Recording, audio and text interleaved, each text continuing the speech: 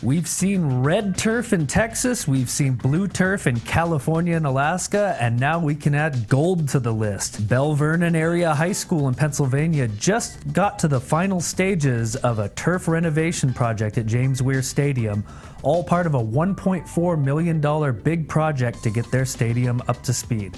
The turf costs about $2,000 and the finishing touches are being put on hopefully in time for Belle Vernon to host its opening game of the season at home.